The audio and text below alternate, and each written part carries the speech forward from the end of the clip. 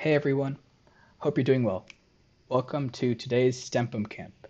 We'll be going over the basics of programming in Python, and I'll try to make it as easy as possible for everyone to understand. So, who are we? STEMPump is a student-led initiative that teaches students the best of STEM technologies for free. We cover everything from programming to robotics, even game design. So how does this camp work? During the stream, we encourage you to follow along with the links we give you, and type out the code that we do too. Feel free to ask questions in the chat, and we'll get around to answering them. If you have any questions after the camp, feel free to reach out to us. So, today's camp. These are the topics we'll be covering. First, we'll talk about what the basic concept of programming is. Then I'll move on to syntax, which is a very essential concept. After that, we'll go to the basic um, uh, ideas behind programming, which include variables and data types, math in programming, functions, and control flow logic. We'll do a couple of mini projects along the way to make sure everyone understands what's going on. And at the end of the camp, we'll cover some applications of Python, which is really where the interesting stuff is. The most interesting stuff. So, what is programming? Let's answer the burning question. Well, programming is basically us writing down instructions that we want a computer to do. Now, this computer I'm talking about could be anything with a chip in it, essentially. Um, it could be the laptop or PC you're using to watch this stream.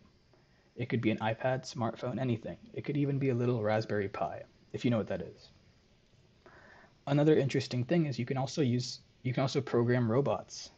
Um, and when I say program robots, I really mean you're giving instructions to the brain of the robot, which then executes those instructions to make the robot do whatever you want it to do. Now let's talk about programming languages. Remember those remember those instructions I was talking about? Well, a computer can't just understand plain English. Although that's becoming more common with like AI and natural language processing and whatnot, but that's not what we're covering today. If you want to learn about that, you can take the camp in July. Um, and to solve this problem, people came up with languages that both we humans and computers can understand. It's a genius of a creation because now we can tell computers what to do. We can understand these languages because they're similar to English. At the same time, the computers can understand them because each command we write down is converted straight to machine language, telling the machine what to do. Examples of programming languages you've probably heard of before include Java, Python, C++, and Swift. Today we'll be talking about Python specifically. So, you know how English has a set of rules that we have to follow so that other people can understand what we're talking about? It's called grammar. Similarly, programming languages have a, have a concept called syntax, which is basically the set of rules that you have to follow when writing code in order to make sure the computer running the code understands what you're saying. Um, basically, what I'm trying to get at here is when you hear me say the word syntax, know that this is just what programmers use for the rules we need to follow in writing, aka grammar. Any questions?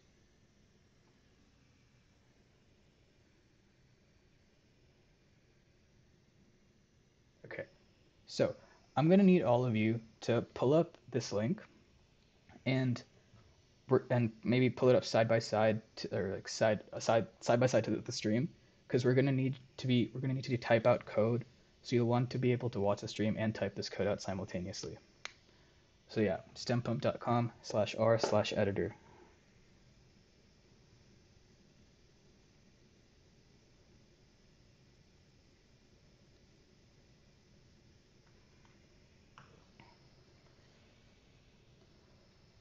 So for today's class, we'll work in an online code editor in real life, when programming on projects, you'll want to download Python from the Python website, and then download a good IDE to write code in.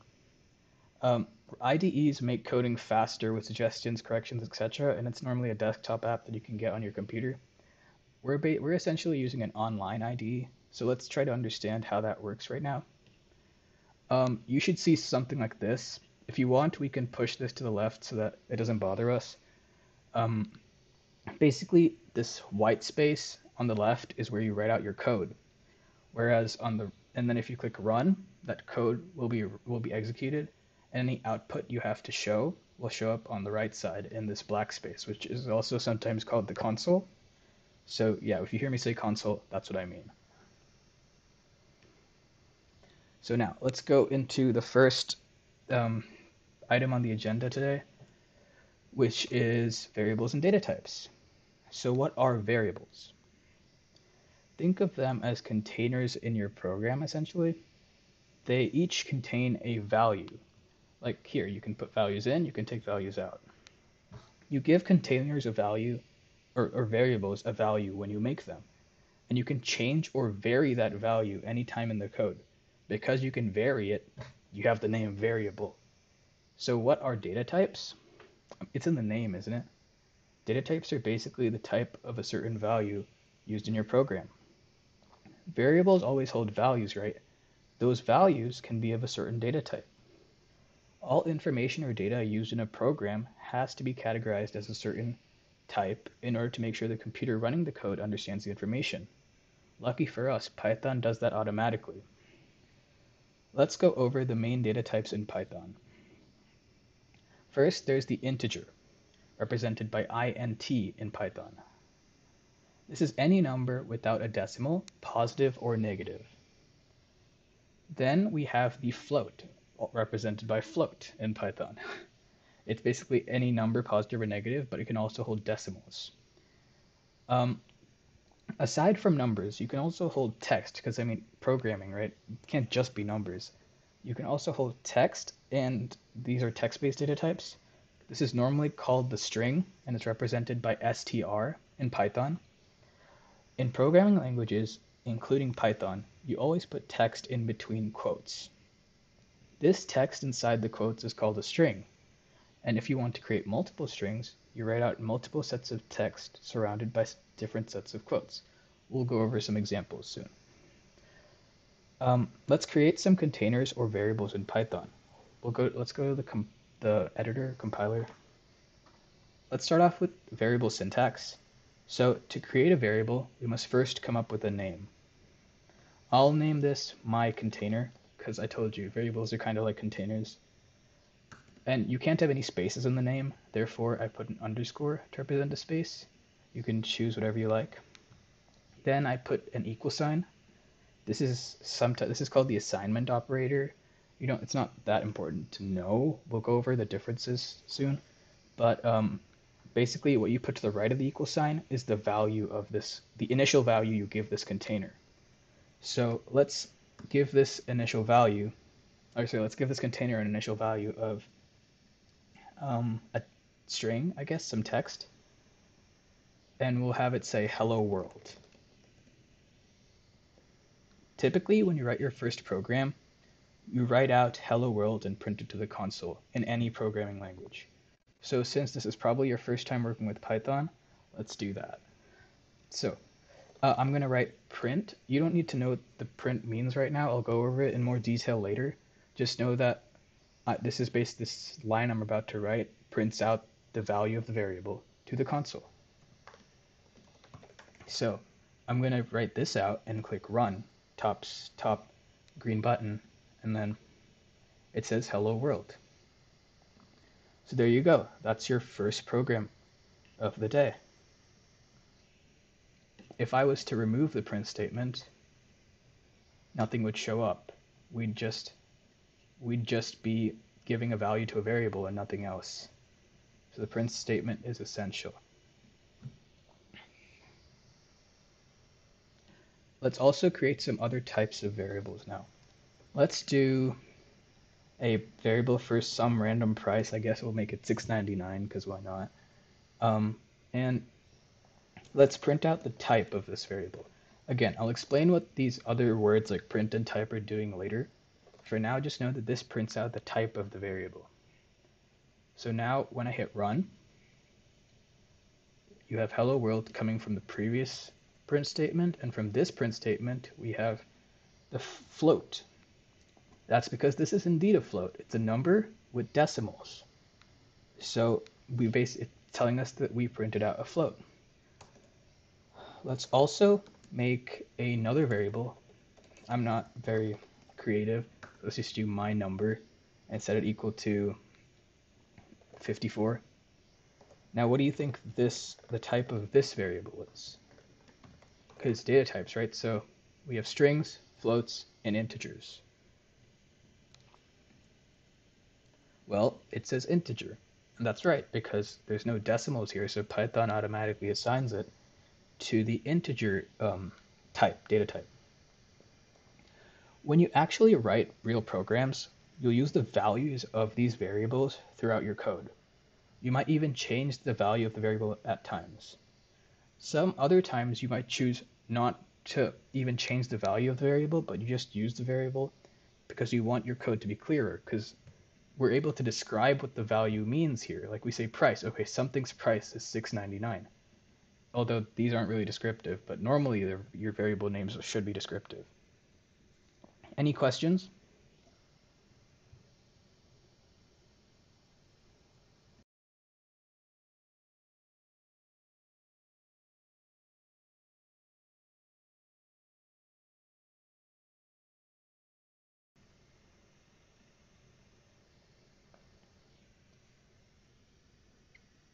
Yeah, sure, I can slow down.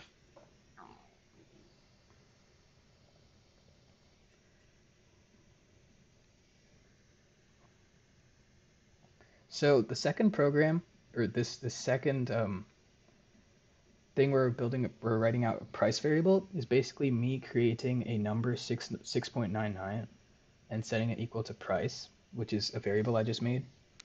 Right, I named it price. I set a value of six point nine nine, and since 6.99 is a decimal number, it's of the float data type. Remember when we were going over the three data types earlier? There's integer, float, and string. So yeah, this is a float data type, and so when I print out the type of it, it prints out float. I told, like I said earlier, we'll go over what type and print and these parentheses all do later. Just if you want to see how this works, just copy it out um, word or letter for letter.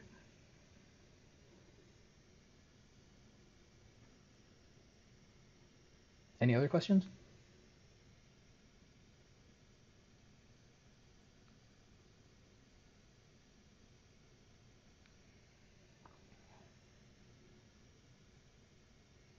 All right, so let's move on to math in Python.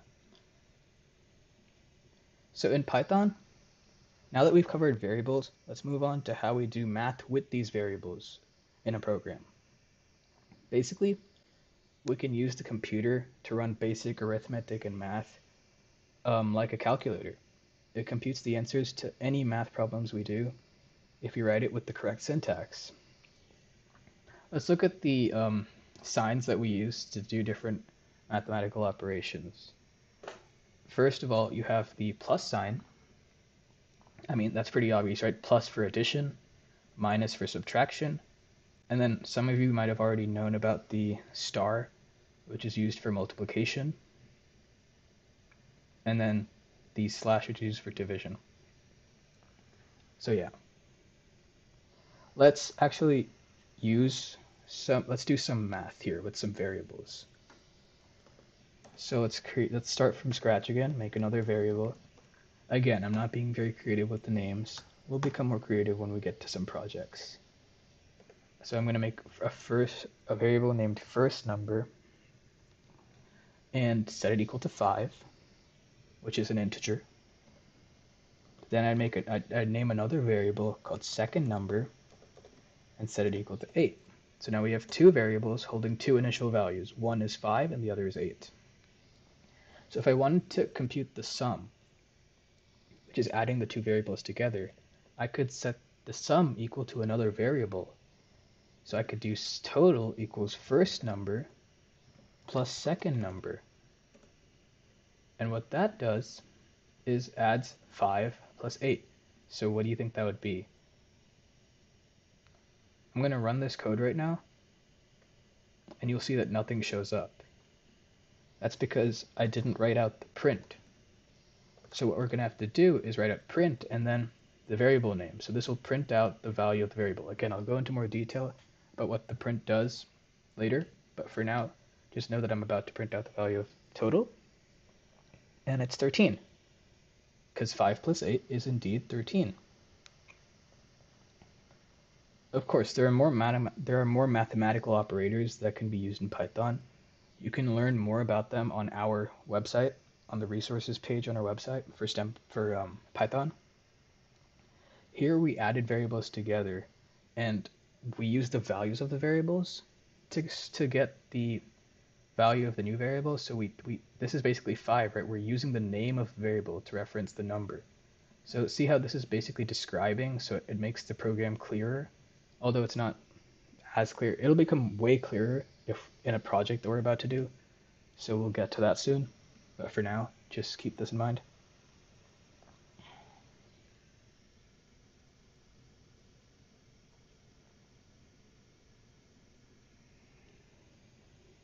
All right. So if anyone have any questions, if not, we can move on to talk about the print. Okay, cool. Let's go to print. So the print um, parentheses is basically a statement that we can use in our code. Um, this we will be using this statement to make numbers, text, variable values, etc. appear on the screen. Like I said earlier, in Python, to make information show up on the console, you have to use this statement. To do this, you have to follow correct syntax, of course. And if you do so, you'll be able to make, like like I said, text, numbers, etc. pop up. Even a combination of the three is possible. Basically, you start with print, followed by a pair of parentheses. Notice there's no space between the print and the parentheses. Inside the parentheses, we put in the value that we want to be printed to the console or showed on the console. This could be integer, string, float, anything you like. You can even do a combination of the three, but we'll get to that soon. Um, so if you see here, you can also print out variable values. If you create a variable, set it to a certain value, and then you access that variable's value here by typing out the variable name and printing, it'll print out the variable's value. Notice how we're, we're referencing the variable using its name. This is what we did earlier with the total and all the other examples we were doing where we were printing stuff. So now, if you want, you can try these out, but let's move on to the concatenation concept. So in Python, we can use the plus sign for numbers, yes, of course, to add them together. We can also use them to put words and text together too. This is called concatenation. Don't worry about the name. Just just know that you can use the plus sign to bring strings together um, into a bit one big string. For example, we can put these three strings together, which is hello, and then a space, and then a world. If you use these plus signs, it just puts all of these characters together. So H E L L O space W O R L D exclamation. All of that is put together into one string here, which if you print out, shows up as this really nice phrase, hello world. Again, like the one we did earlier. Let's work on a short program that prints out a greeting using this concept of concatenation.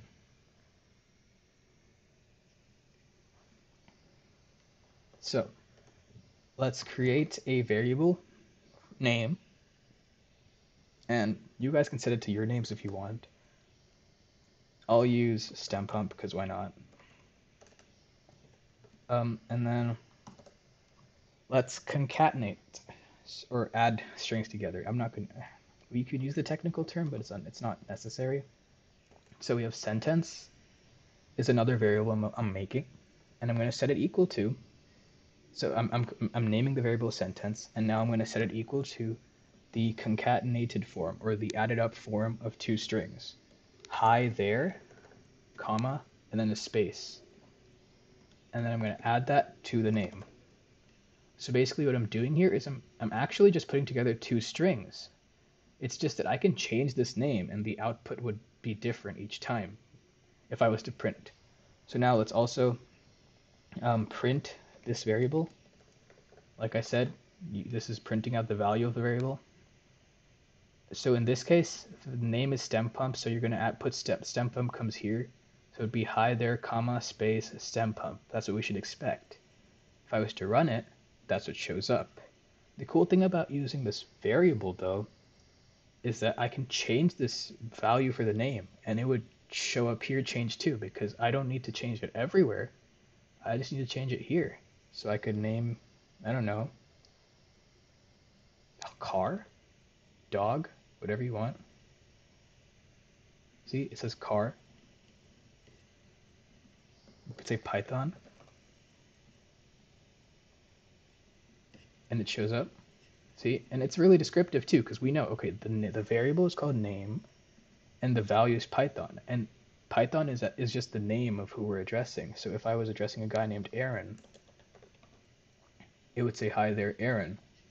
And name is just Aaron, but it's really descriptive now because we know, okay, Aaron is the guy's name. So we know that we're actually just messing with his name here. Um, all right, so one thing you must notice though is, is this is the tricky part about concatenation.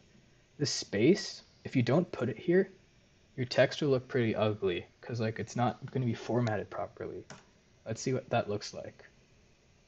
See this? There's no space there. It's like weird. The comma's touching the A.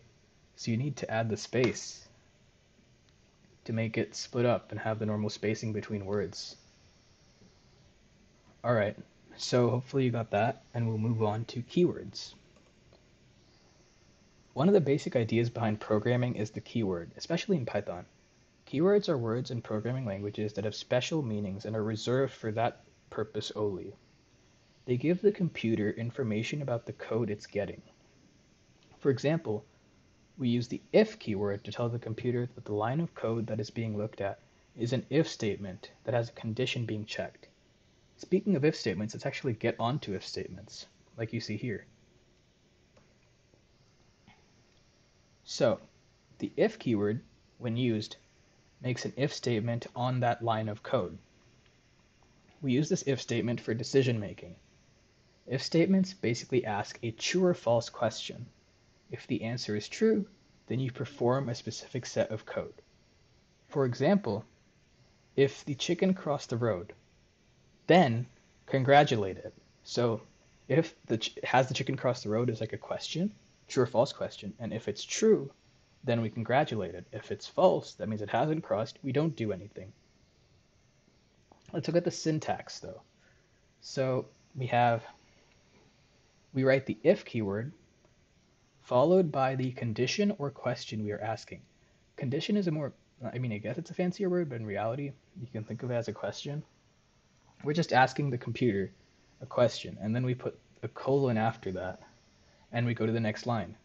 Most editors will automatically add a tab here uh, if you go to the next line, but if it, if it doesn't, you want to make sure to add a tab, because if we want, um, because typically, typically it's just a single press of the tab key to, to make this indent, and then whatever code you write will run only if the if if if the answer to the question is true. Note that we must make sure to end it because if we don't, the computer running the code won't realize that this code should only run if the if statement if the question is, is answered with a true. It'll run no matter what if we don't indent it. So just make sure to do that.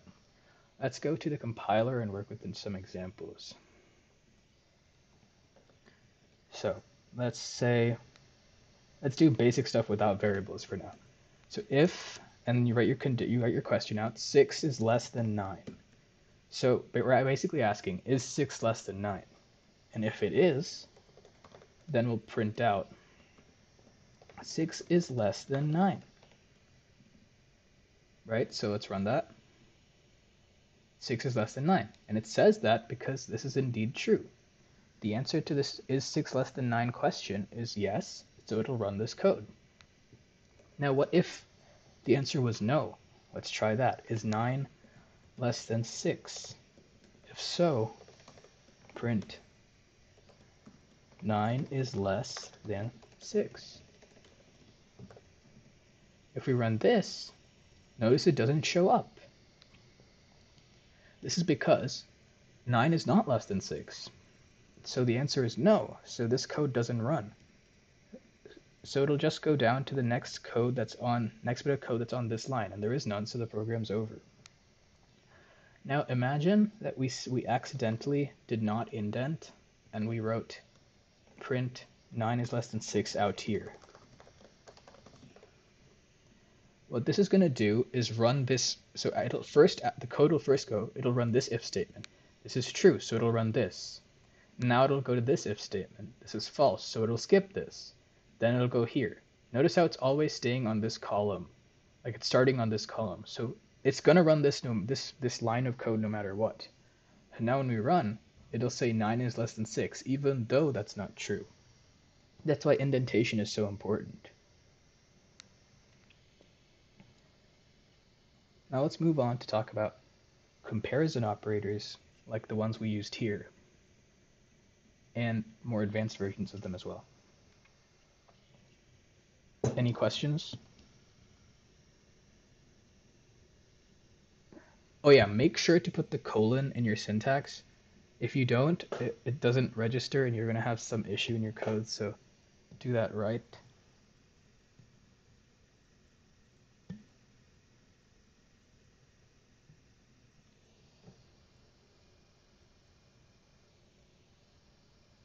Any questions?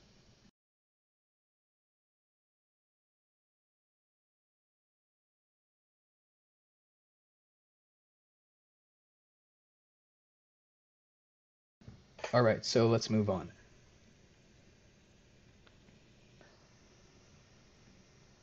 Let's move on to the comparison operators. So, let's, let's take a look at the basic comparison operators like the ones used earlier. We'll be using these in if statements a lot. They mostly make sense. They sh um, these mo should mostly make sense to you from math classes, except the equal and not equal to ones. I'll be honest with you, programming languages have some weird rules, but trust me, they have their reasons. The operator to check if two things are equal has two equal signs rather than one. Single equal sign, like I said earlier, is used to assign a value to a variable. So they had to come up with a different operator to check if two things were equal. And and since computers aren't smart enough to understand context like us humans, they sort of just had to come up with this double equal to sign. And then you have this not equal to. Not equal to has an exclamation followed by an equal sign. I guess this kind of makes more sense. Use the explanation, the exclamation mark and the equal sign to check if a value is not equal to another. The um, equal and not equal to operators specifically can also be used for strings, not just numbers, whereas these are usually only used with numbers. Um, because you can always check if two strings are the same. You can check is house the same as house? Is house the same as car? No. But is house the same as house? Yes and so on. So now let's work with these. Let's create a another variable called name. This time, I guess we'll set it equal to something different, maybe Marie. And let's ask the quest. Let's ask a question, basically asking, "Are you Donald?" So we'll say if name equals Donald. So this is asking, "Are you Donald?" If yes, then it'll do whatever code we're about to write. So I'm going to say print hi Donald, because if it's Donald, you want to say hi to Donald, right? What if it's not Donald? Then we'll have to create another if statement and say if it's not equal to Donald, then it'll just say, you're not Donald. I mean, because like, right? That's what you'd say, I guess. You're not Donald. And so basically what we're doing here is we're checking see if the name variable is the same the value of the name variable is the same as the Donald it's the same as Donald. And Marie is not the same as Donald therefore it'll not run this statement. But Marie and but here Marie is again not the same as Donald but it's checking is it not equal to Donald? Since it isn't equal to Donald the answer is yes so it'll run this code.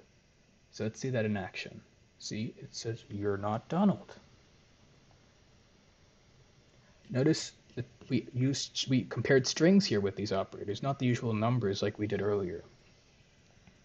Now let's move to a new data type called booleans that you probably um, aren't very familiar with. So let's get let's get to that.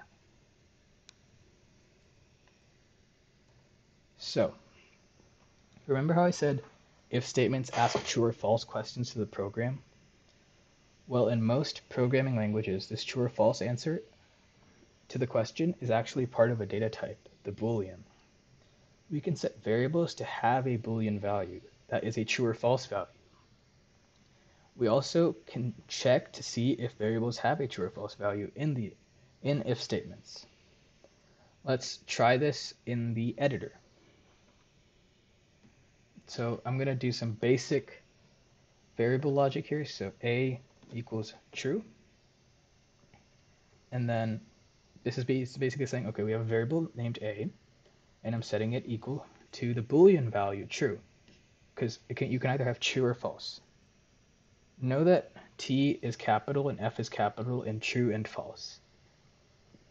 Now let's check to see if a is true. We can type out, we can either type out if a equals true, and ask, and this is basically asking, is a true? Or we can just write a without any of that other junk. Because in Python, there's a shortcut that allows for this. In that you don't have to write it out if you're just wanting to check if the answer, if the value is true. Now I'll just print out a is true.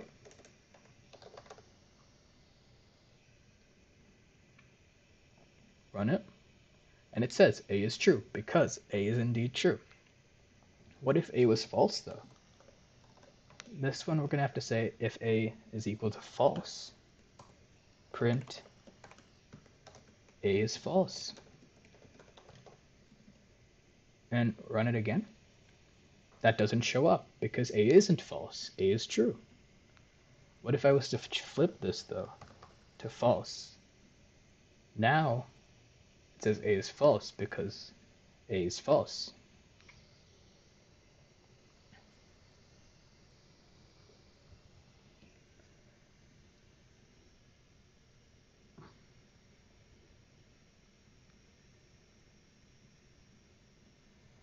All right, now let's move on to the else statement, which is basically an addition to the if statement. So when we ask the true or false question, like we did with the if statement, we only had code run if the answer was true. What if we want some code to run only if the answer is false? We can do this with the if statement. Or sorry, with the else statement. Let's consider a chicken crossing the road. Again, if it has successfully crossed the road, then we congratulate it. So if the answer to have you cross the road is true, we, we say congratulations. Now we can also add a second part. Else, as in like if not, if you haven't crossed the road, then we'll motivate you. And so it's, the second part is asking, is saying if the answer to the if question is false, then we do this other set of code, which is motivating the chicken to cross the road. now let's look at syntax.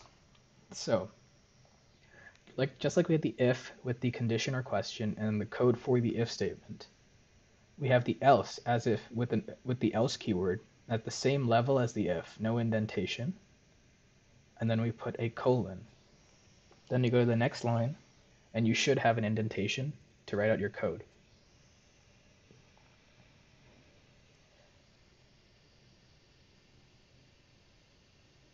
If it's not tabbed to the right, you'll want to do that, but most editors normally tab it to the right already. If you just hit enter. So now, let's replace our second question in that earlier code with the else statement. So instead of writing out this whole if thing, we can just say else. So now it's going to say if a is true, print this. If it's not, if a is not true, which means a has to be false because booleans can only be two values, right? True or false. So if it's not true, it has to be false. So if a is not true, then you print a is false. You don't have to write out the whole second if question. And also, yeah, so basically you have two choices So if I made this false, it still says A is false. If I changed it back to true, it should say A is true. Yep. So it still works just as it did earlier. All we did was replace the condition with the else question, or else statement keyword.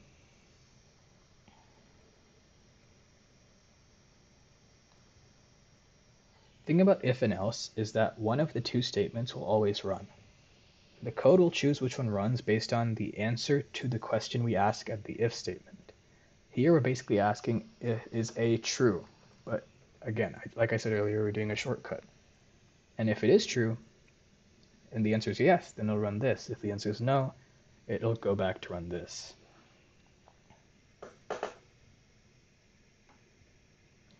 Um, this is supposed to be a hands-on class where you, you can pull up the um, editor that we're working on. You can get it at stempump.com slash r slash editor.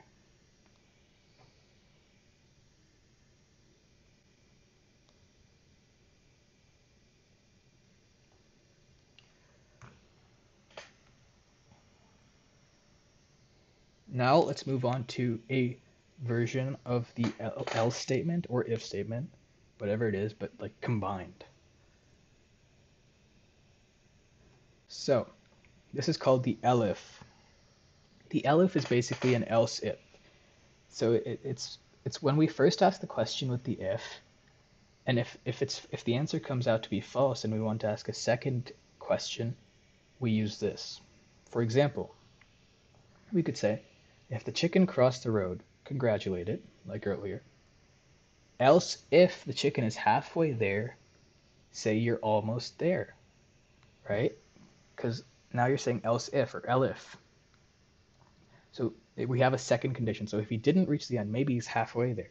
If he is halfway there, then we'll mo- then we'll tell him you're almost there to motivate him. And if he hasn't started, then we'll end with the else, which is okay. He hasn't even gotten halfway. We have to motivate him or her. I don't know. It's a chicken. It. Yeah, and then as usual, we always end with an else as default. So let's look at the syntax. It's basically the if statement syntax except with an elif. So we, uh, we put another question in after the if and run another set of code. And then we have the else, which is kind of like a default, I guess, because if it doesn't meet the if condition or the elif condition, we go to the else.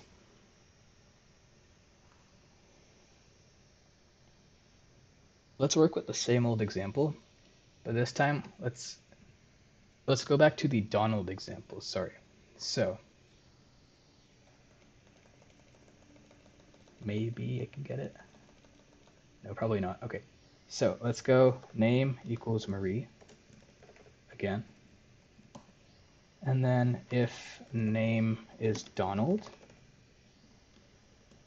print hi Donald, like last time. Elif, now this is where it comes in. Sorry, we have to go back, right? We have to be in the same level as the if when we write this elif. Now we're going to check. Okay, if it's not Donald, then it'll, if, if the if name isn't Donald, it'll go down to the elif and check this condition. And so if it isn't Donald and it is Marie, we could say hi Marie.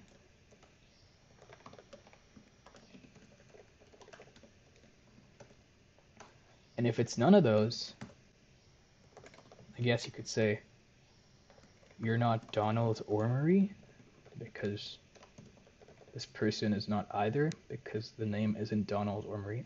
So how this would work, let's say this wasn't Marie, maybe Aaron, and run. You're not Donald or Marie. That's because first it checks the if. Is Aaron equal to Donald? Well, no, so it doesn't do this. Now it goes to the next one.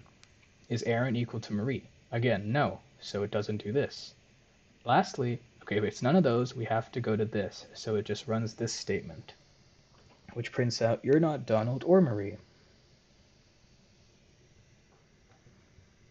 Any questions so far?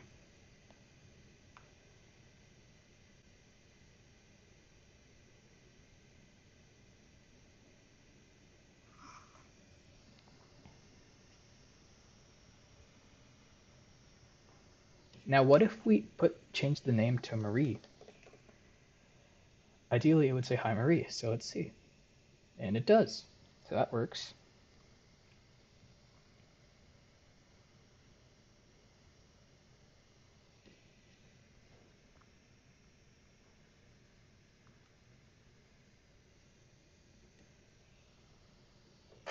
All right, now let's move on to loops. In programming, we use loops to run a set of instructions over and over again. We can have loops run a certain number of times, and that's called a for loop. We can also have loops just keep running until a condition is met. What I mean by condition is again just the same old true or false question. If the answer is yes, it'll keep running, but the moment the answer becomes no, it'll stop running. So with the and this is called a while loop and we'll work with these right now. With while loops, you, you just put some code inside the loop and keep asking the same question. Every time the code in the loop runs, the true or false question is asked to the program. If the answer is ever false, the loop will stop running. And so the, the, the syntax of the while loop looks like this. You start with the while keyword, followed by the true or false question, also called a condition. If the answer is true, we run this code and then we come back to ask to come back up here again and then ask if it's true again. If it's still true, we run this code again. But at some point in time, if this ever becomes, if the answer to this is ever false, this stops running. Let's use this in the editor. Let's do like a hide and seek kind of game, like where you just kind of count, you know, the counter, like when you go one Mississippi, two Mississippi, three Mississippi, all the way up to 10, and you say here, here, or ready or not, here I come. Let's do that. So let's make a counter. Um, we'll start by importing time. This is just us importing a library from Python that allows us to work with time. You don't need to worry about it that much. Um, just know that we'll have to use this for one particular um, piece of code. It's not that important. Now, and normally you always put your imports at the top, so just know that. Let's create a variable named number. Um, or I guess we could call it count. And set it equal to 1. This is basically the time, like the second we're on, so we can say 1 Mississippi. Then the number, the count becomes 2, and then we go 2 Mississippi, and so on. So let's do that. Let's start with a while loop now um, we write the while keyword followed by the condition or the question.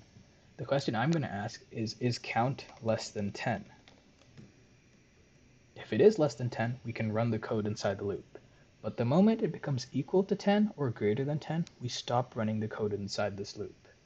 So now notice that I'm indented when I'm when I hit enter after the colon. All your code in the loop also has to be indented just like in an if statement.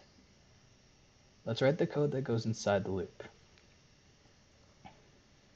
So since we want to count, let's first display that we're counting. We'll print out the number we're at, followed by Mississippi, because I guess some people still do that. One Mississippi, two Mississippi, etc. So let's do that. Um, what I'm going to need to do is first of all, I'm going to need to print, of course, inside that, I'm going to have to do str count. What this does is basically, so since count is a number, right, and we're trying to print it, we can only print out strings. So to make count, which is a number, into a string, the string of count would just look like it in quotes. So now it's a string. See the color changed? Now you can't add like one, two, three, etc. It wouldn't like go up to 2 or 3 if you were to add numbers to it. So this is why we don't use it as a string, we keep it as a number. But when we're printing it out, we need it to be a string. Therefore, we use the Python name for the for a string or reference name for string, which is str, followed by parentheses and the name of the variable. This this whole thing is basically taking the string form of count, which in first the first time around it would be quote one quote and then we want to add space Mississippi because like that's how you count I guess I think I spelled that right. I'm very scared about that. Okay. So, um, yeah, we print that out. And then, since we want the number to increase every time we run this loop, we're going to do count equals count plus 1. So now we're adding 1 to count because we have the initial or the old count and we add 1. There's actually a shortcut for this which is just plus equal to. So we're adding 1 to the current value of count. So if count was 1, after the first time this loop runs, count becomes 2. And then we come back. If count is 2, 2 is still less than 10. So this code will still run. It'll print out 2 Mississippi, then count will become 3, and so on. But since we want this to last one second each time we count, this is where that time comes in. So we have to do time.sleep 1. You don't need to know exactly what this does, what, exactly what this does, just know that what a, this line of code makes the makes the program wait one second before putting the next or before continuing. So every time we go through this loop, we wait one second before going back to the top and asking the question again. Now let's run this code. Uh, and it should count from 1 to 10. 1 Mississippi, 2 Mississippi, 3 Mississippi, 4 Mississippi, and it does it once in one second intervals. Awesome. And at the end, I guess, I guess we'd say less than or equal to 10 because we wanted to reach 10, right? So let's run that again.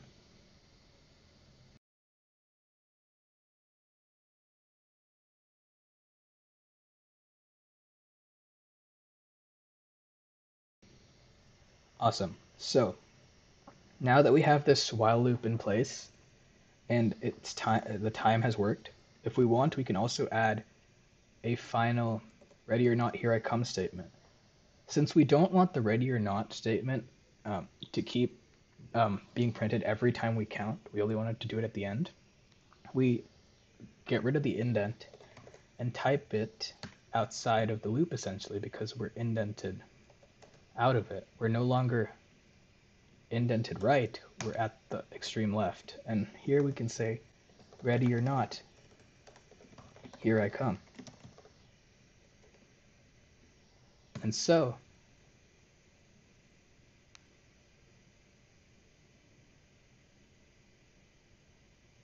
and so, this should work. One Mississippi, two Mississippi, three Mississippi, four Mississippi, and so on. And then at the end, you hit ready or not, here I come. Pretty neat. And so we just created a sort of interesting program, and now we'll go into something even cooler.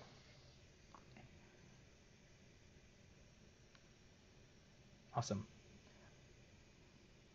So, next up we have the input statement. The input statement is used to get input from the person running the program on the computer. Just like we just ran the program in the console, the print statement, the input statement lets the user actually input information to the program by typing.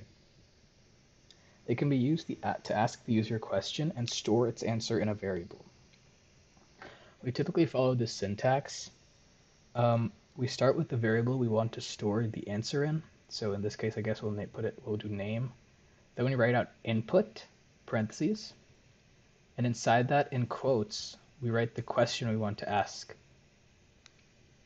And so since we're, I guess we want the name, we'll ask what's your name, and then the, whatever the user answers will be stored in the name variable. Same thing for age. We could say age, enter your age. Whatever the user enters will be put in to the age variable. To see what this looks like, we'll be working on a mini project. So let's get to that. Let's Let's now use our knowledge of loops and if statements and everything to create a pin system, like the ones on most smartphones. We'll ask the user for the pin, and we'll give them three tries to get it right. If they don't, we'll post a message saying they failed to unlock the phone. If they were successful, we'll tell them they, was, they successfully logged in. So let's get to that. Um, let's start off by creating a variable to hold the number of attempts the user has tried.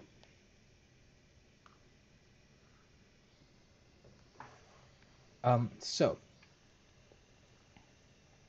let's start with making a variable named attempts and set it equal to zero because right now the user hasn't had any failed attempts. Let's make a correct pin variable to hold the correct pin. This is really just for like making it more descriptive and clear so that you know it's easier to read. Because now you know okay we're, we're dealing with the correct pin here that's what that number means. I'm going to set it equal to 1056 or you know let's just do 1 2 3 4 um, so this way it's easier to use and we don't have to remember the correct pin whenever we want to use it in the code. Also, if we ever want to change the correct pin using the program, we only need to change it here. We don't need to change it everywhere we use this variable because the variable is there for a reason. Now, let's move on to the actual logic. Let's create a while loop that runs as long as the user hasn't used up their three attempts. So in the loop, each time the user gets it wrong, we'll add 1 to the attempts variable. That way, the loop can only run a max of 3 times, and we just need to check the value of the attempts variable. We'll see, uh, we'll ask, is the attempts variable? Okay, just a sec.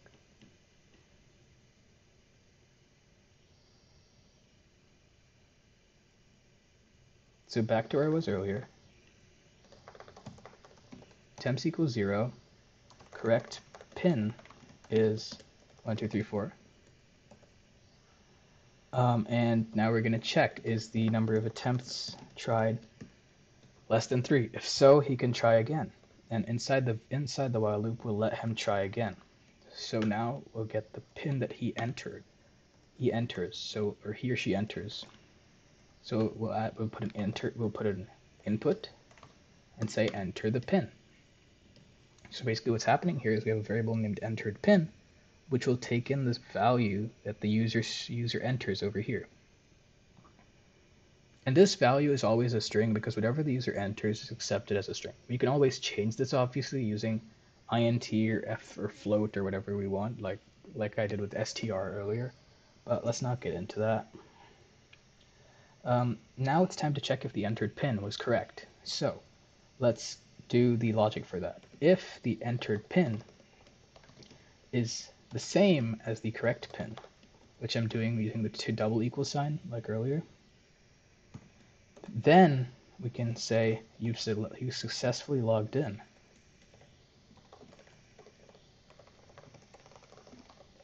Because he was right. And then there's a new there's a new um, statement that we're going to use it's called the break. What this does is it forcefully leaves the loop. So now the next piece of code will happen here. The next code the program will run. It'll skip everything inside the loop and stop running their loop over and over again. It just goes out. But that's only if it was correctly, because if it's entered correctly, we don't want to keep asking him to enter the pin. We'll only ask it that one time, and then he's entered correctly, so we leave. But what if he didn't? This is where we have to use the else because if he didn't get it right, he had to have got it wrong, right? And then, if he got it wrong, we can say print incorrect. Try again. And we'll add one to the attempts variable because we don't want him to have infinite tries, so we have to add one every time if he gets it wrong. Remember what I said earlier? Yeah. So now if we were to run this code, it would give him three chances, but we want we want to show a final failure message if he uses up all three attempts. If he if he uses up all three attempts and the attempts variable is equal to three because he used up three, three attempts, we will still need to tell the user he's been locked out or something. We know that the loop will only set attempts to three if the user got all three attempts wrong. So if the variable is greater than or equal to 3, we'll show the error message after the loop. So if attempts is greater than or equal to 3, then we can show an error message like, oops, seems like you've forgotten your pin or something.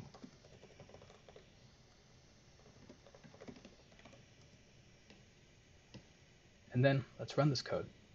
So, um, I guess we could try 1, 1, 1, 1, 1, 2, 2, 2, 2, 1, 2, 3, 4. Correct. Now, if you want to see the failure message, 1222, 1222, 1245. Oops, it seems like you've forgotten your pin. So basically our pin system seems to work very well. Um, another way Python can help you, just let's keep going then, shall we? Let's move on and make sure your indenting's right. Okay, we don't want to mess that up. That could be a main reason why your program isn't working like mine is. So keep that in mind. Okay, so now let's go to the next order of business, which is lists. In programming languages, lists allow for organization. They let you store multiple values in one structure.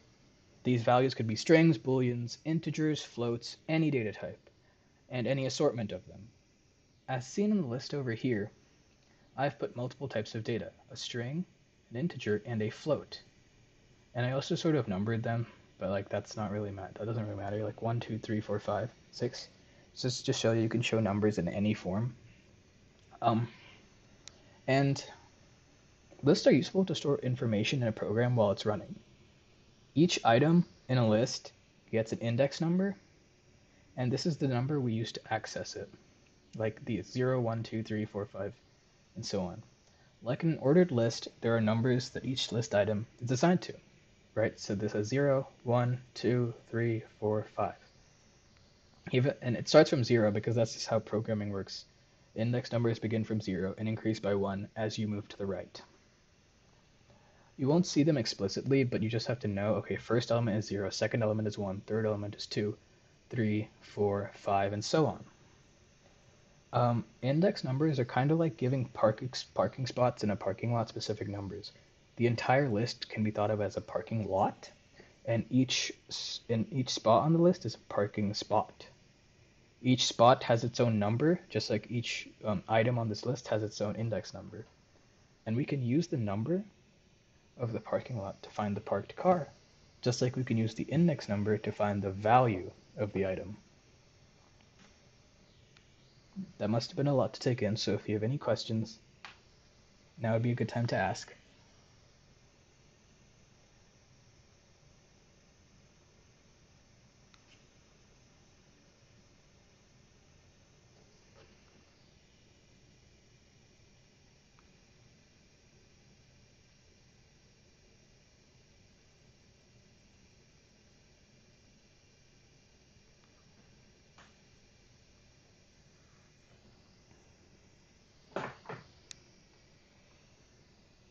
Okay, so now let's let's just create a list so you know what it looks looks. Actually, no. Let's go to let's access. Let's look. Let's talk about how you access the values in a list first, because I said you can use the index number to access the list or values in a list. So let's go to that. We can access specific list items using their index number, like I said earlier, 0, 1, 2, 3, 4, 5. Um, now, what do I mean by access? I mean that we can get the value of whatever is in that spot on the list. We can set a variable to equal this value. We can check the value of this in an if statement and anything else you want. It's basically just using it or checking it, referencing it. That's what I mean by access. Let's work on an example here, but basically to access, you have to type out the name of the list, followed by square brackets and the index number of the list. To actually create a list, you just have to you have to type out the name of the list. You can, an, like an assignment operator, it's basically you're you're assigning the list to a variable, and then you just have square brackets for the list. Each item in the list is separated by a comma. That's how lists work in Python. Several other languages are pretty similar in syntax, so if you know Java, I think it's pretty similar. And then, again, to access the list item, you type the name of the list, square brackets, no space between the name and the brackets, and then inside the brackets, you type the index number in. So for my list, like we had here, index number three is this this text for string. So if I so the name of the list is my list, the index number is three, and the value of that is text four. Let's work on an example dealing with the colors of rainbows. So we'll make a list, rainbow colors. Again, underscore because you can't have spaces in the, in the name. And then what are the colors in the rainbow? It's like or- red, orange, yellow, green, blue, and indigo. Oh, sorry, and violet. Oops. There's like seven, the seven main colors in a rainbow. And so this is our list right now. If we want, we can print out the whole list to see what it looks like, but it's just going to look the same. It's going to look exactly the same. Yeah, see? Now, like I said, we can access each item in the list by using the index number. Let's do that. Let's access the first number in the first item in the list. So rainbow colors and then square brackets. And we'll use an index of zero because that's the first item on the list. Run it. And you get red because the first item on the list is red. What if we wanted, say, the fourth item on the list? That would be the name of the list, which is rainbow colors, and then three because index of three is four. Is the fourth item. And so we get green because the fourth item is green. Pretty neat. That's the basics behind lists. So that's pretty much the basics of Python there. And we're going to go into more complex stuff now. So if you have any questions or want me to go back to something, now would be a good time to ask.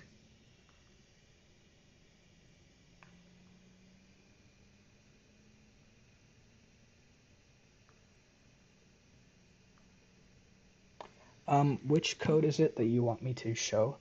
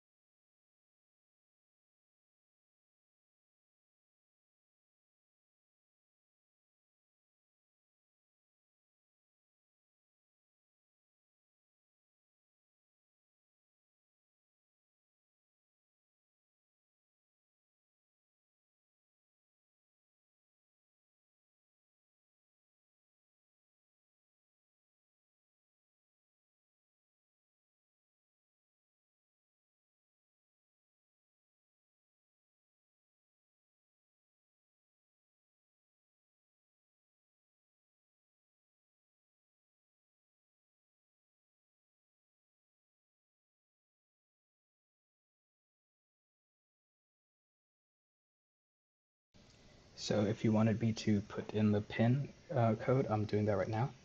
And you can take a look.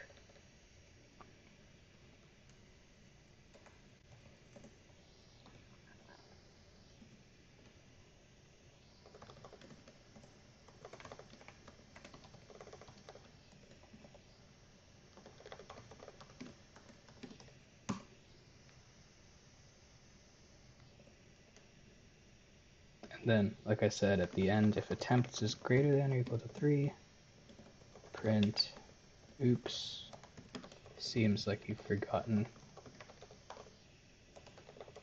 your pin.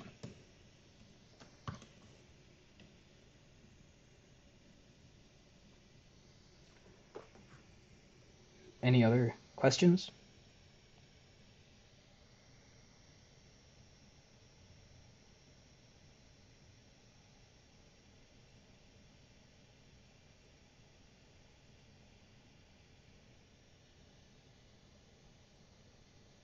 All right. Um,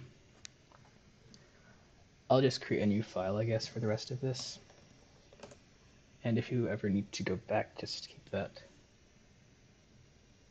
Okay, cool. So, uh, let's move on to the more advanced topics behind lists and um, list methods. So, what are list methods? When we work with lists, besides creating and accessing items, we might want to modify the list by adding items or removing items. There are two basic list methods we'll go over to do that. Um, there's the dot append method, which as expected, adds an item to the end of the list. You put the item inside the parentheses and it'll be added. Similarly, dot remove removes the item from the list. So if you put the item, like the value in parentheses, in the parentheses, it'll be removed from the list. Let's go back to the rainbow example and do this. So rainbow colors.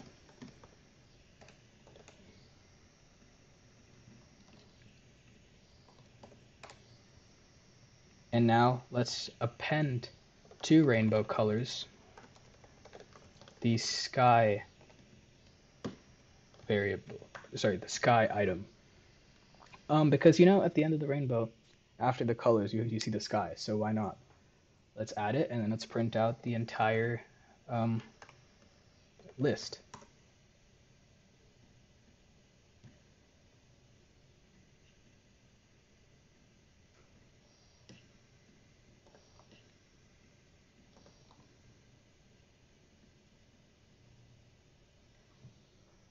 So now you see that there's also a sky item added to the list. Now let's also remove this item and see what happens. Or let's remove another color.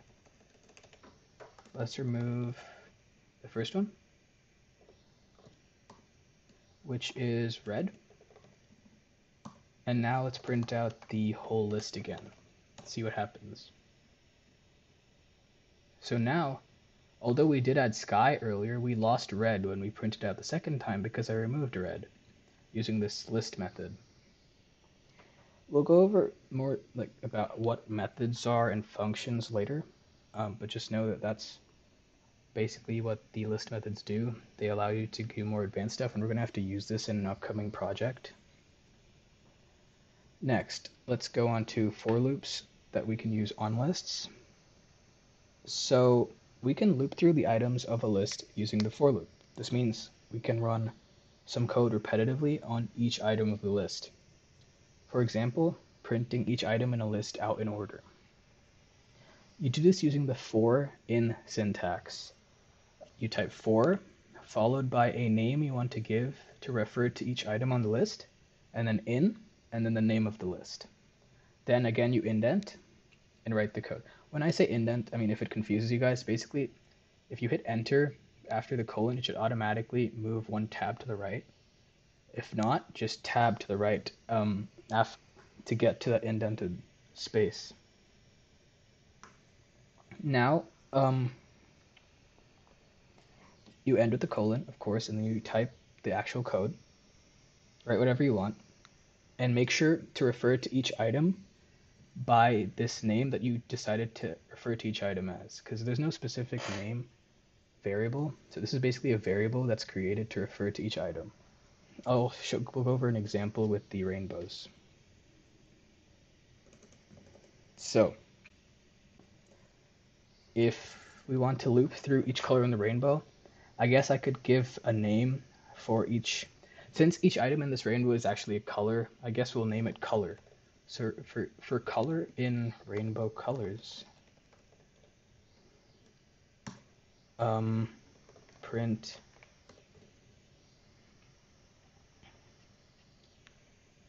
um, yeah, we could say that this color is part of the rainbow. So color is part of the rainbow. And, and so what this is going to do is it's going to take the color for each item in rainbow colors. Oops, spelled that wrong. So we could take red for the first first time around this loop, it'll plug in red for color. Second time around, it'll plug in orange for color. Third time around, it'll plug in yellow for color. Fourth time, green, and so on. Up to blue, all the way up to violet. And then sky, because we added sky. So let's see what that looks like. Orange is a part of the rainbow, yellow is a part of the rainbow, green is a part of the rainbow, and so on.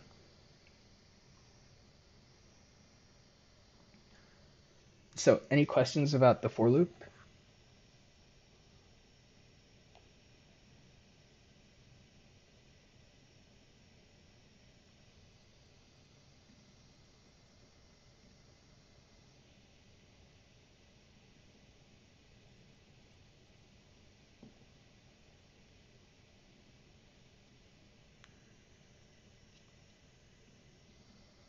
Anyone?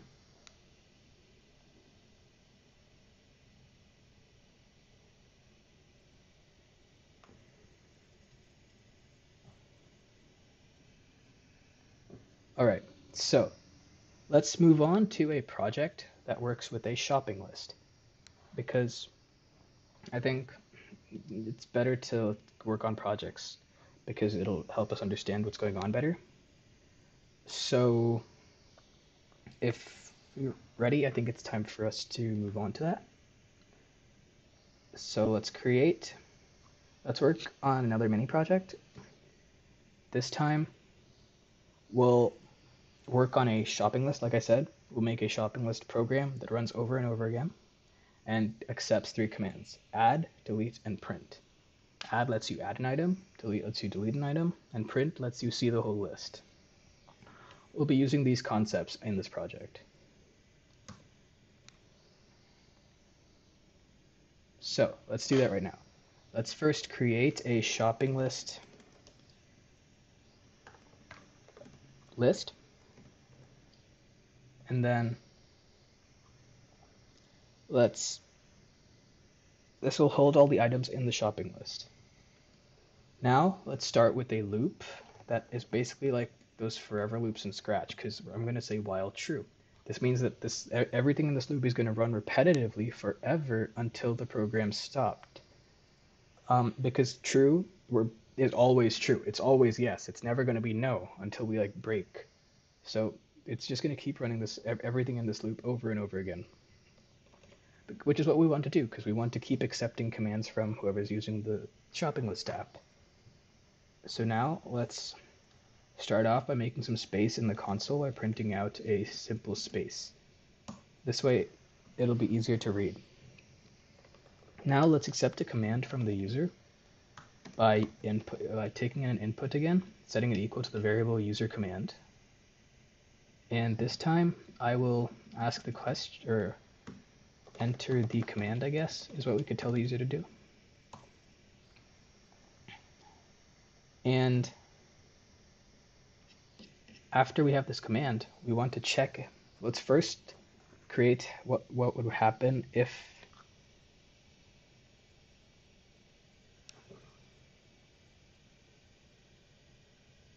yeah, so uh, sorry, I was reading your issues and stuff. So user item, enter command. And what we want to do is first work on the add functionality. So we want to work on what happens when we use the add command.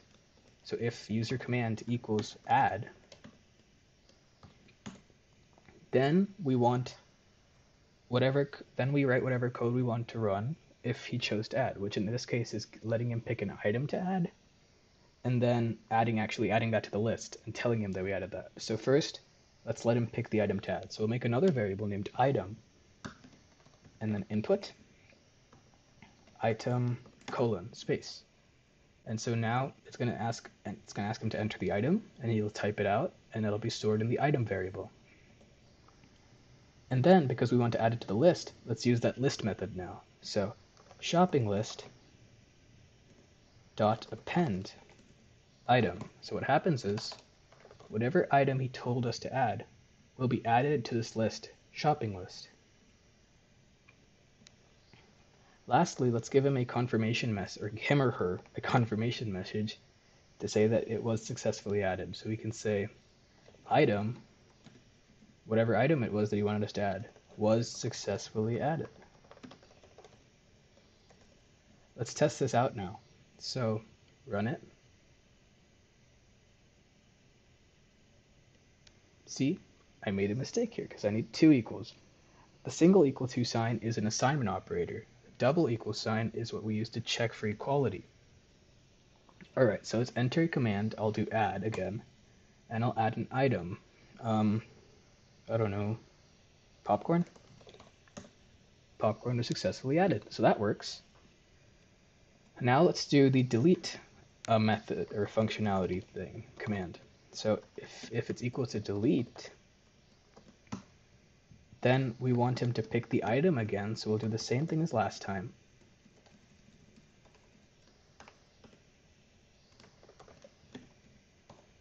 but at the same but this time we'll remove that item instead of adding it. So we'll do dot remove instead of dot add and it'll remove that item from the list if it's in it. And then another confirmation message item was successfully removed and so that's that we can try this now and say Okay, let's add pop, or sorry, add. Then the item we'll add is popcorn. Then let's do delete. Item we'll delete is popcorn. And popcorn was removed. Obviously, we can't really see the list right now, so we have to add that last command, which is print, which will allow us to see the list and therefore actually see what's going on. So we'll do if the user command is print then we will have to loop through the items of the list using that for loop I was talking about earlier.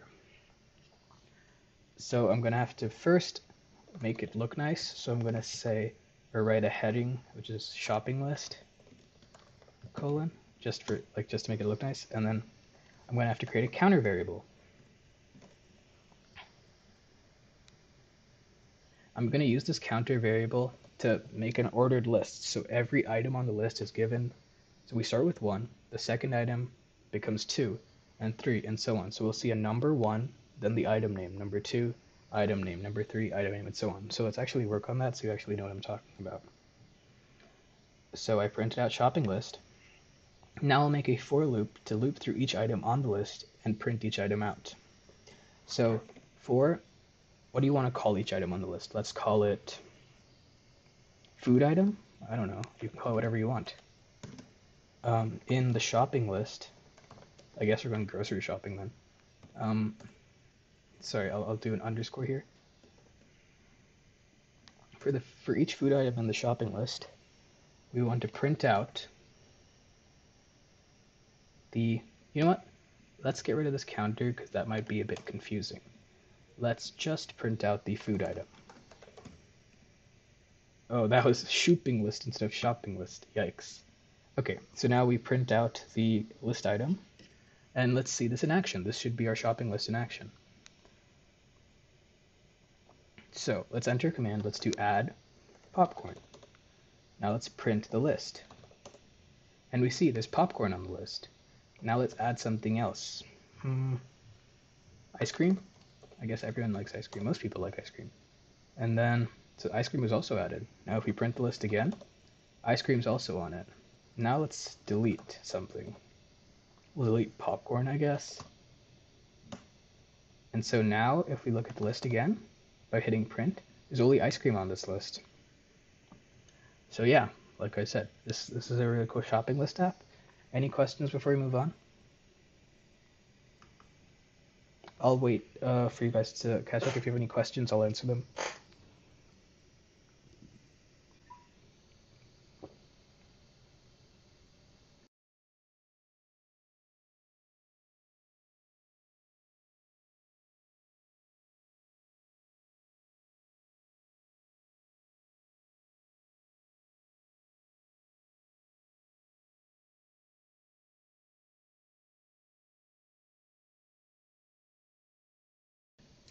Thanks for the comment. Yeah, it is pretty cool, isn't it?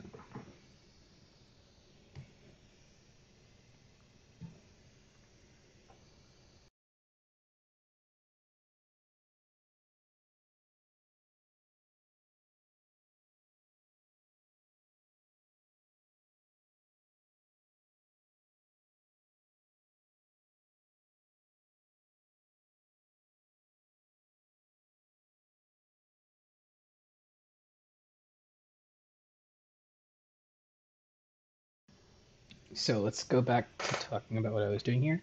Basically, we start off with the shopping list uh, list. It's empty initially, therefore there's no items inside. Then we start a forever loop. If you're familiar with Scratch, that's what's going on here. The loop just keeps looping over and over again until we forcefully stop it, which we don't do here. We can use the stop button on the top of the screen to stop it.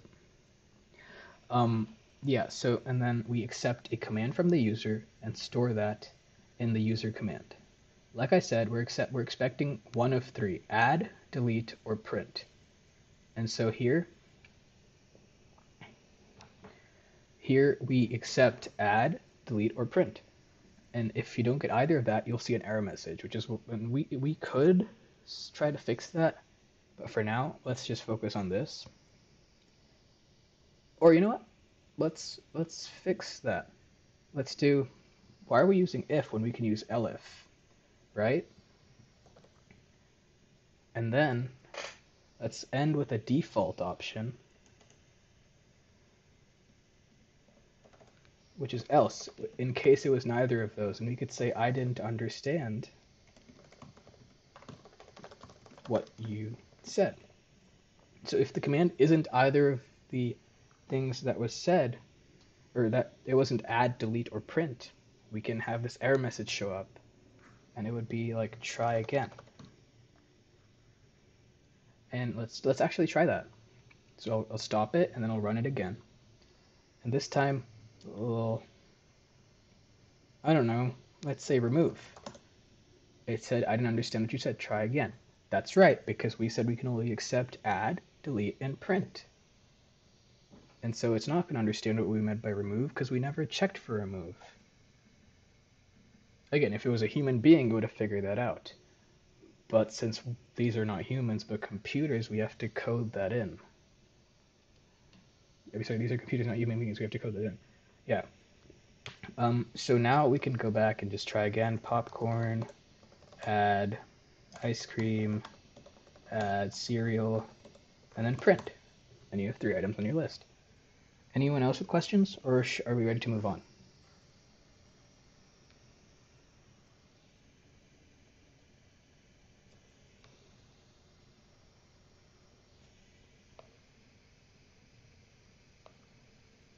Okay. I guess we'll move on then. So, um, next up, we're pretty much um, done with all the projects we're going to work on for today, but let's still move on to some more complex topics. First of all, like we discussed lists, like a shopping list, let's move on to dictionaries. In Python, we have dictionaries, which are another data structure that we can use. It's a, another form of data structure, uh, sorry, data storage um, that allows us to store values using key value pairs. It's essentially like a real dictionary where the key is like the, the word and the value is the definition of the word. So we have to know what the word is to find its definition, right? So we go in a dictionary and we go looking for the word and then we find the definition. That's what we do here. So we have a dictionary with the key on the left and then the value. So we go into the dictionary looking at looking for the key. So if we want to look for the age, we'd go through this dictionary and be like, oh, age, and the value is 16. That's the whole concept behind dictionaries. Instead of storing it with index numbers like you have in lists, it's arranged using key value pairs. So we have a key. A key is just a word used to describe this, uh, the left-hand side a description, I guess, for what the value. Um, and we store dictionaries just like lists in a variable. I don't think you, you probably should you shouldn't capitalize it, so ignore this. Capitalizing is not a good practice for variable naming. It's like not part of the naming um, or way we do it. Um, but yeah, and so you write the you know, name of the variable that you want to assign the dictionary to, and you put an equal sign, followed by a curly brace. Instead of the lists, which use square brackets, we use the curly brace here. Then we do the name of the key, we do the key in quotes. The key always has, actually, no, you have the key on the left side, and then colon, the value on the right side. And then there's comma to go down to the next key value pair. It's a pair because you have a key and a value, two things, key value, pair and you could be you could have an either type, or you could have a string value, an integer value, anything. Here we have a dictionary that has information about a person, specifically his name and age. Um, so, yeah. Let's also move on now to functions. Dictionaries, you can you'll find them used very often with Python, but it's a very Python specific concept. It's not in languages like Java. So keep that in mind. Now let's move on to functions. So functions are used to bundle a set of instructions together that you want to use repeatedly in your code. They are basically blocks of code that you create, or in a technical term, define, and they only run when you call on them using a particular statement. First, to make a function, you have to use the def keyword. Uh, it's, it's the short form for define, and basically you're defining the function or, or making it. So you write the def keyword, followed by the name of the function, and then parentheses. These parentheses might remind you of something, and we'll get into that later. And then you have the colons. Again, and then you hit enter, and you should come up here with an end. We should be tabbed to the right one.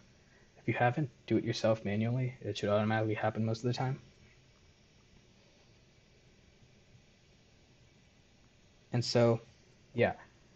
And that's to make the function.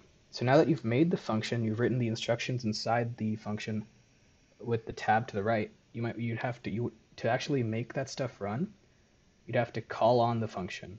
And to do so, you have to write out the, the name of the function again. But this time, you don't write def. You just write the name of the function and then the parentheses. Nothing else.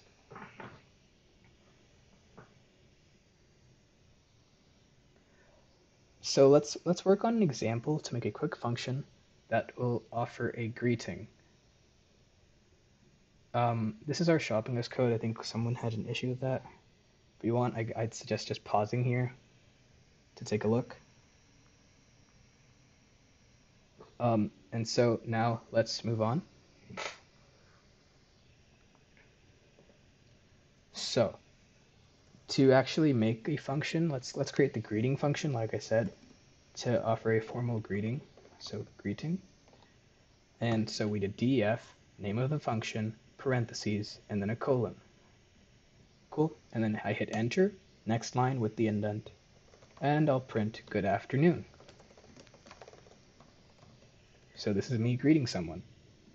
And so if I was to run this code, nothing happened. Why? because all I did was create the bundle of instructions. I never ran the bundle of instructions. To actually run that bundle of instructions, you have to write out the function name again, followed by the parentheses. And now it'll do it. And now instead of copying this code, I can just write greeting over and over again if I wanted to keep doing it. But this is not where the power of functions lies. The power of functions lies in the option to do arguments, which I'll get into next.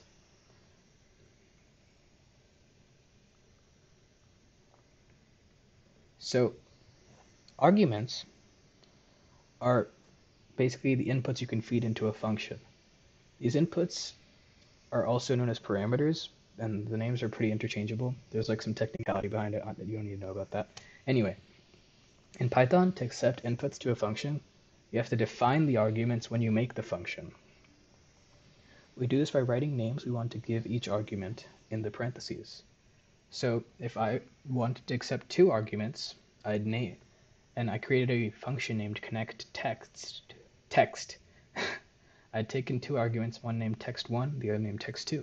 And since I want to connect them, I'll give back text1 plus a space plus text2 because like you know how I said you need the space and it's like weird otherwise because like they'll be they'll look like they're attached. So yeah, that's how that works. So you print we're printing a combination of three strings here using concatenation. But what the real thing that's going on here is I've created a bundle of instructions again. Really, it's just one instruction, but we'll get into more complex functions in our soon. And and so here what we do is we just say talk there I don't know why that says talk, just say connect text. Anyway, that's that's a typo.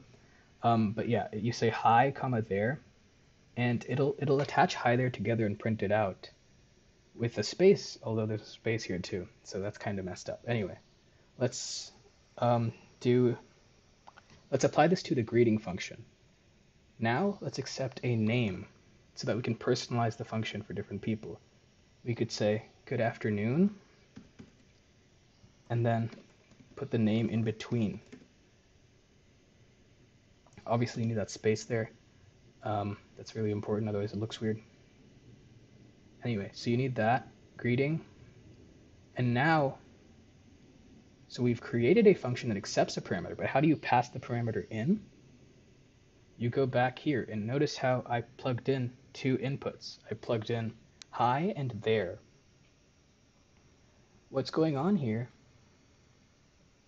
is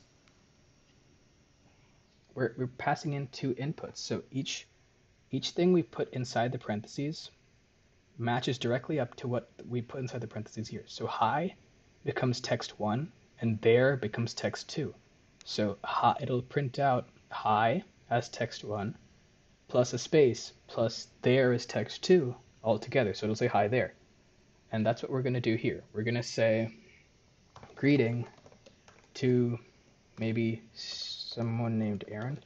And then, but the cool thing about this is now instead of writing this out with a different name each time, I can just put the greeting function into different names. So I could do George, Rahul, and so on. And then I'll run. And see, it does it gives me personalized um, print statements for each person. That's the beauty of functions there, because now you can do it for different people just by changing one word. But that too in a really simple way that doesn't look ugly. So, yeah. You get the concept there, I hope. So we could do something like Jordan or Eleanor. Actually, maybe not. Okay, so run. And there you go. That's pretty much all of the basics we'll cover today in terms of coding. So I'll just let you guys figure that out. You have any questions, do ask about functions. We can make this more complex if necessary and be like um, print or another thing we could do is instead of printing this out, we can use the return keyword. The return keyword is like a special keyword that can be used um, instead of a print statement, I guess, to give you a value back instead of printing it to the console. So let, let me clear this up. So we'll do greeting again. Or no, let's make a some addition. And we'll take in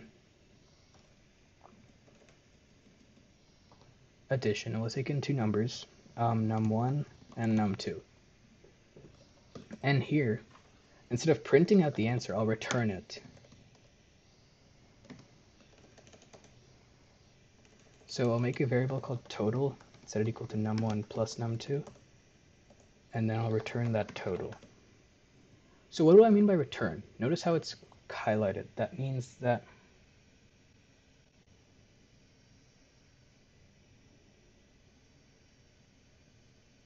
So that means that it's a keyword, right? Just like the def and from earlier, the if, while, etc. So it's a special word reserved in Python. And what it does is it gives back the value to you instead of printing it. What I mean by that is we can actually set this the answer to a variable of value. We kind of have to do that actually. So for example, I could say my total, a new variable I just made, would equal the addition of the numbers 5 and 7. And what this is doing, it, it, it gives me, it returns the value 5 and 7. And this whole expression is just 12, because 5 plus 7 is 12, and that's what's returned. So I get a 12 back. So if I was to print my total, or just, pr yeah, print my total, I'd get this. So now I can't just write this out on its own it has to be set equal to a variable because now it's returning the value instead of printing it. And then I can print the variable value. So I'd be running it, and I get 12.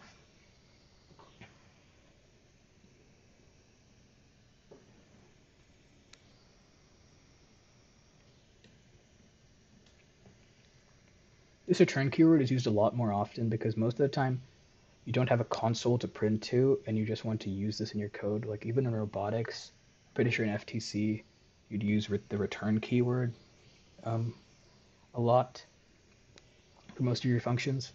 So yeah. And also just to clear up something, a lot of t- like I said, list methods, methods and functions are pretty much the same thing. It's just an interchangeable word.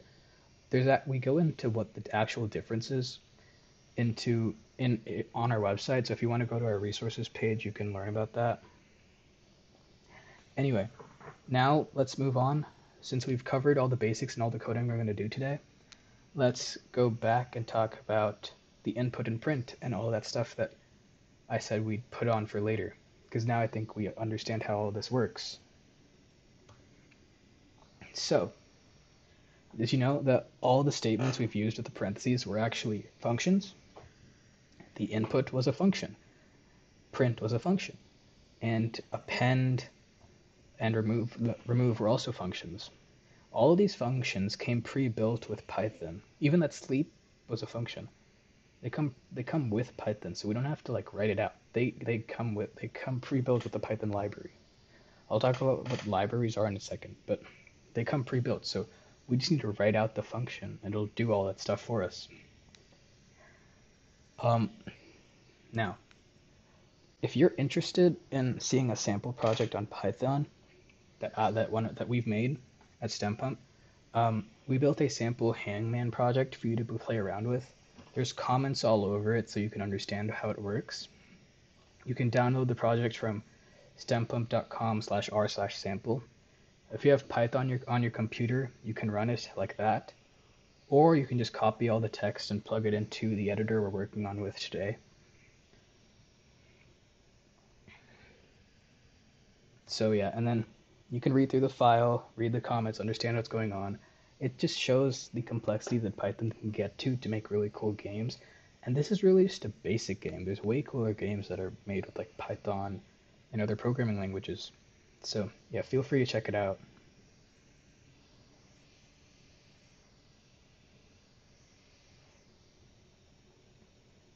That's stempump.com slash r slash sample.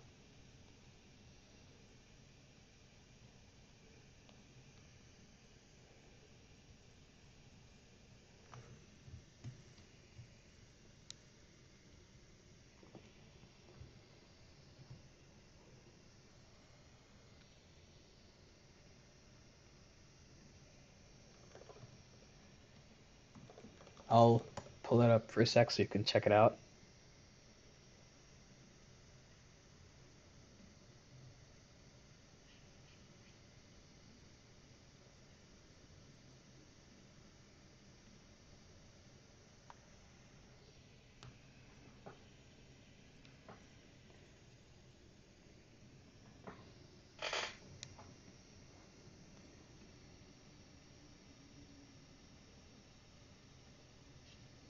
So, uh, I have it open with me.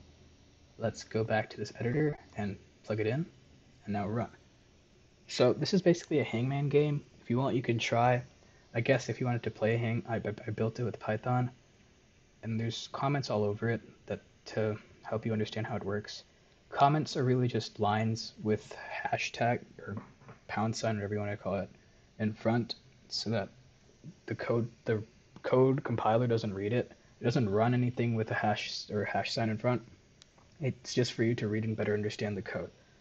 So I guess if we were to play Hangman, you'd always start with the vowels. So let's go A, E, I, O, maybe U? Nope. Okay. C, K. Anyone have any ideas? I don't know. R? K, no, already did that. A, oops, did that. P, T, Q. nope, game over. It was Sherlock Holmes. Okay, cool. So, that's just one one fun game that you can do with Python. Um, so yeah, feel free to check it out. Now let's go to the next thing. So how do you use Python in the real world? Um, so to repeat what we just did, like with all of that programming in the online editor, all you have to do is go to python.org, download the latest Py- version of Python, and then find a good IDE that you like, download that, and you can write all these programs in your IDE and then run them in the terminal or command prompt. You can find tutorials on how to do this on our website or online. So yeah, feel free to check that out.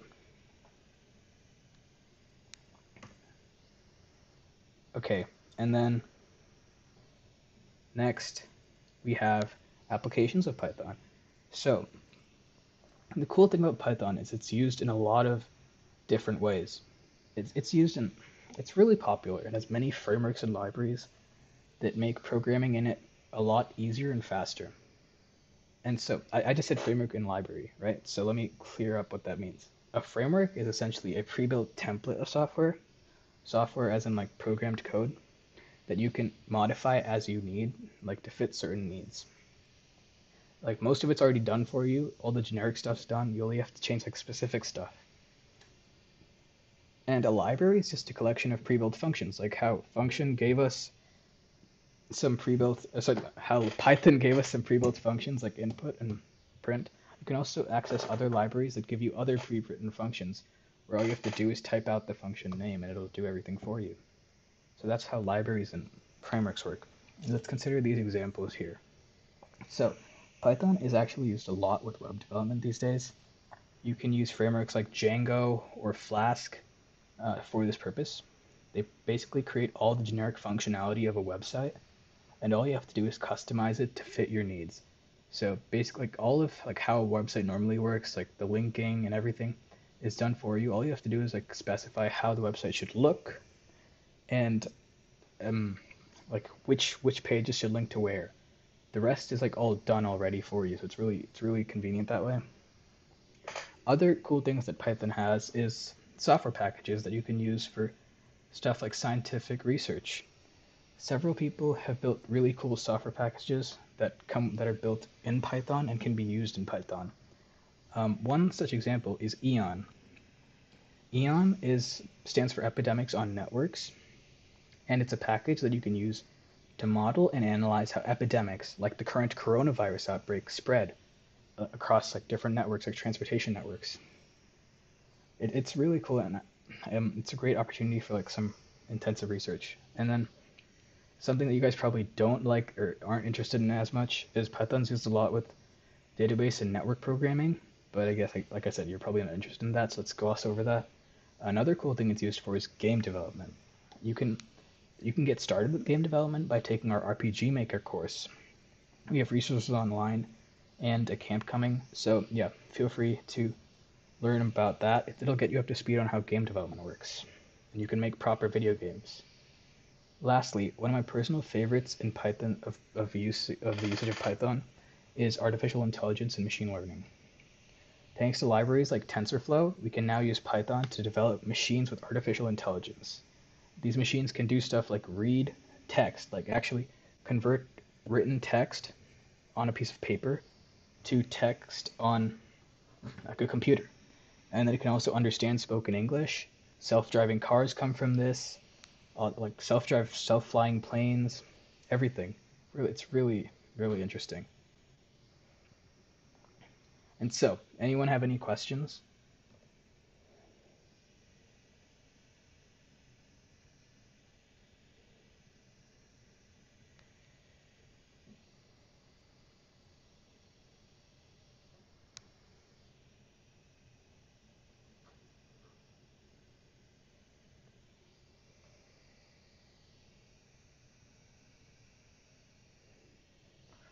Okay. There is no second part to this. This is the only Python um, that we're doing. However, we do have the resources on our website, python.com. So, uh, stempump.com, um, and you can you can find the rest, the more advanced concepts of Python there. Um, we didn't want to go over that today because I didn't want to rush you. It was already a bit rushed, and going over too much wouldn't have been good, for, good that good. Anyway, um, so yeah. Okay, cool. So Uh, if you want to learn more or didn't finish, you can always go to stempump.com slash r slash python. And if not, or if you want to watch, rewatch this, we'll have this posted on YouTube and Twitch soon after this camp's over. And so we've just completed the STEMpump course. We had the web design course done a couple days ago. And if you're interested in any of these other courses coming up, feel free to sign up. Like I said, artificial intelligence is pretty interesting. You might want to go do that. If not, there's Java, another programming language you might use for FTC. There's FTC judging if any of you are in FTC, and so on. And so, if you want to sign up for more camps, please sign up at stempump.com slash camps. And download our app from the App Store if you want to um, access our resources on an app or you want to watch all the video, all the um, camp recordings, and or sign up for camps. Yeah, like I said, you can find the video of this camp on our YouTube channel, stempump.com slash And add us on social media, uh, Discord, Instagram, and Twitter. If you have any questions that you don't have answered yet, feel free to reach out to us in either of these means. We'll be happy to answer your questions. And please, we appreciate your feedback. So please um, offer your feedback. Thank you. And thanks for joining the stream. Have a good Thursday.